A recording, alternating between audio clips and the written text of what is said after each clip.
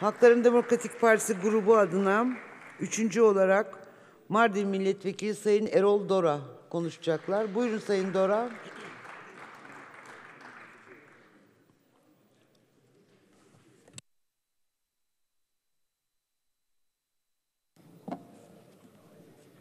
Sayın Başkan, değerli milletvekilleri, Vakıflar Genel Müdürlüğü bütçesi üzerinde söz aldım. Sayın bakanları, sayın bürokratları ve genel kurulu saygıyla selamlıyorum. Değerli milletvekilleri, vakıflar konusu özellikle azınlık vakıfları konusu, milletvekili olduğum 24-25 ve içerisinde bulunduğumuz 26. dönem süresince gerek bu kürsüden gerek kanun teklifleri, araştırma önergeleri ve soru önergeleriyle çeşitli yasama faaliyetlerim kapsamında özellikle dile getirmeye çabaladığım en önemli konulardan birisi olmuştur. Değerli milletvekilleri, öncelikle azınlık vakıflarının işleyişini sekteye uğratan ve temel demokratik prensipleri dahi askıya alan son derece yanlış bir politik tutumun yarattığı sorunu öncelikle dile getirmek istiyorum. Bakınız, azınlık vakıflarının tam beş yıldır, yanlış söylemiyorum, tam beş yıldır askıya alınan bir seçim yönetmelikleri sorunu vardır. Ve bu sorun artık bir an önce çözüme kavuşturulmalıdır. Maalesef Ocak 2013'ten beri cemaat vakıflarımız örgütlenme ve yönetme iradesinin en temel prensibi olan seçme ve seçilme hakkından mahrum edilmişlerdir. Yönetmelik konusunda bugüne kadar bir gelişme olmaması seçme ve seçilme özgürlüğünün, örgütlenme özgürlüğünün engellenmesi bakımından oldukça vahim bir durumdur. Süreli seçimle göreve gelen vakıf yönetimlerinin görev süresi dolmuş olmasına rağmen kendisinden sonraki yönetimlerin yetkilerini kullanması vakıflarımızın özgür, demokratik ve şeffaf olarak yönetilmesini engellemektedir. Bu durum cemaat vakıflarına ait üyelerin gerçek iradelerine ipotek koymaktır. Vakıflar Genel Müdürlüğü'nün görevi adaleti, eşitliği, hukuksuzluğun ve hukuki boşlukların giderilmesini sağlamaktır. Buradan vakıflardan sorumlu Sayın Hakan Çavuşoğlu'na ve Vakıflar Genel Müdür, Müdürümüze bir kez daha seslenmek istiyorum. Öncelikle bu sorunun gündeme alınarak bir an önce çözülmesini yine parlamentonun önünde bir kez daha hatırlat, hatırlatarak konuşmama devam etmek istiyorum. Değerli milletvekilleri, azınlık vakıflarının çözüm bekleyen temel meselelerin başında çeşitli biçimlerde el konulmuş taşınmaz mülkler sorunu gelmektedir.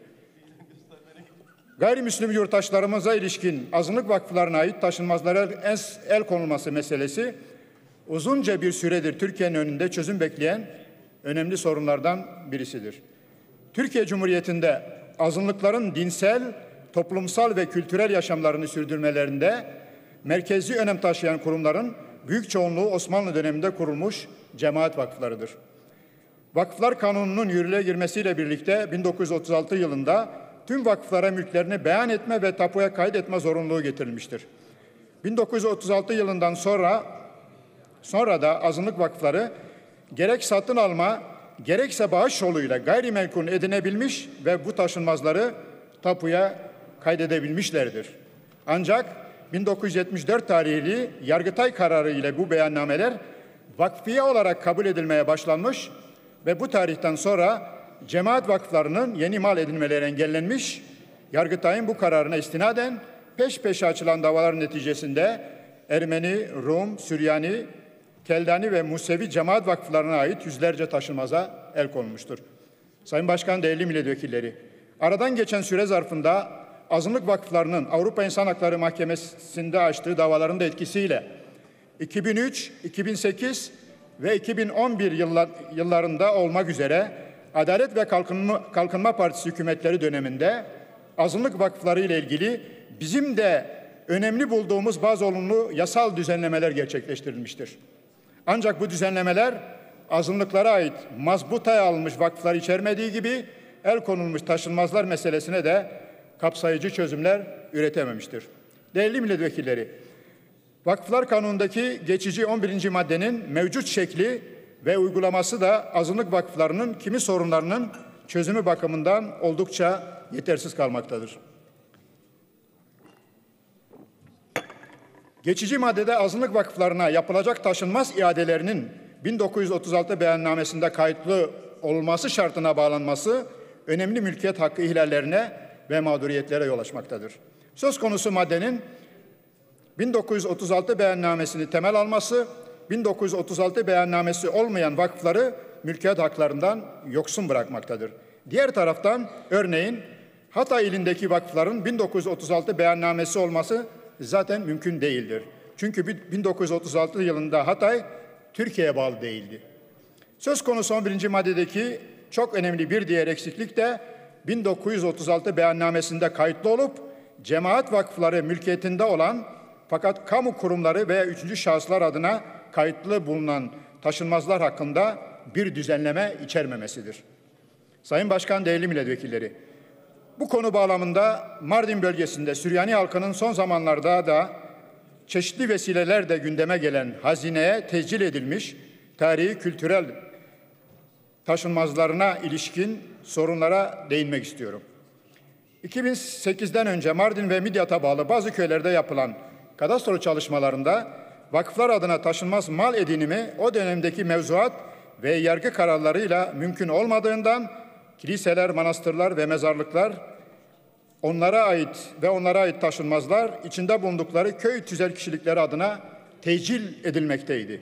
Daha sonra Büyükşehir Yasası ile birlikte köy tüzel kişilikleri ortadan kalkınca bu gayrimenkullerin bir kısmı bulundukları yer belediyesi adına tescil edildi, bir kısmı da Vakıflar Genel Müdürlüğü'ne devredildi. Bu durum bölgedeki Süryani vakıflar açısından önemli mağduriyetlere sebebiyet vermiştir. Tabi ardından konuya ilişkin olarak vakıflardan sorumlu Başbakan Yardımcısı Sayın Hakan Çavuşoğlu masa başında hatalı bir işlem yapıldığını belirterek mülkleri iade edeceklerini ifade etmişlerdir. Sayın Bakan'ın bu ifadeleri Süryani toplumunda memnuniyet yaratmış ancak konuyla ilgili henüz somut bir düzenleme de yapılmamıştır. Bu konudaki düzenlemeleri bir an önce beklemekteyiz. Diğer bir konu hatırlayacağınız üzere 2013 yılında Sayın Cumhurbaşkanı'nın deklare ettiği demokratikleşme paketi kapsamında el konulmuş olan Mor Gabriel Vakfı'na ait 30 parsel taşınmazın 12 parseli vakfa iade edilmişti. Ancak bu taşınmazların 18 parsele dair mahkeme süreçleri devam etmektedir. Bu vesileyle bu sorunun da bir an önce çözüme kavuşturulması noktasında çağrımızı bir kez daha yeniliyoruz. Sayın Başkan, değerli milletvekilleri, netice itibariyle azınlık vakıf mülkleriyle ilgili olarak yurttaşlarımızın talebi şudur ki, 1936 beyannamesinde kayıtlı olup olmamasına bakılmaksızın, başta Ermeni, Rum, Süryani olmak üzere Musevi, Keldani, Maruni, Gürcü ve Bulgarlara ait vakıfların ellerinden alınmış taşınmazların mazbutaya alınmış vakıflar ve üçüncü şahıslara satılmış taşınmazlar da dahil olmak üzere hiçbir şart ileri sürmeden ilgili vakıflara iade edilmelidir. Biz de yurttaşlarımızın bu talebini bir kez daha parlamentonun önünde dile getiriyoruz. Sayın Başkan, değerli milletvekilleri, tabi burada 10 dakikalık bir sürede azınlık vakıflarının sorunlarının tamamını dile getirmek mümkün değildir. Ancak din ve inanç özgürlüğünün önemli bir bileşeni olan din adamı eğitimine ilişkin kısıtlamaların azınlıkların karşılaştığı temel sorunlardan biri olmaya devam ettiğini de vurgulamak istiyorum. Bu bağlamda Heybeliada Ruhban Okulu'nun da hala Lozan'a aykırı olarak açılmamış ol, olmasını da ülkemiz açısından bir eksiklik ve bu anlamda da Hristiyan vatandaşlarımızı rencide eden bir durum olmaya devam etmektedir. Sayın Başkan, değerli milletvekilleri, Loz Antlaşması, Avrupa İnsan Hakları Sözleşmesi ve Türkiye'nin taraf olduğu diğer uluslararası sözleşmeler de dikkate alınarak var olan demokratik olmayan ve evrensel hukuk aykırı uygulamaları bertaraf edecek yasal düzenlemelerin bir an önce gerçekleştirilmesi söz konusu sorunların büyük ölçüde giderilmesini sağlayacaktır. Bu sorunların bir demokrasi, insan hakları ve hukuk devleti meselesi olarak düşünülmesi ve eşit yurttaşlık, anayasal vatandaşlık gibi kavramlar çerçevesinde düşünülmesi zaruridir. Tabii gerek azınlık olan halklara mensup yurttaşlarımızın kendilerini ötekileştirilmiş hissetmemeleri, devletle olan ilişkilerin bu temelde yıpranmaması ve gerekse demokratik, laik ve sosyal bir hukuk devleti niteliğinin gereği olarak hükümetin çağdaş hukuk gereği üzerine düşen yükümlülükleri sağlamada daha titiz davranmasını beklemek tüm yurttaşlarımızın doğal hakkıdır. Biz de bu duygularla yine bu taleplerimizi bir kez daha bu bütçe vesilesiyle parlamentoya ve bütün partilerin gündemine bir kez daha getiriyor. Bu duygularla genel kurulu saygıyla, sevgiyle selamlıyorum. Teşekkür ederim Sayın Dora.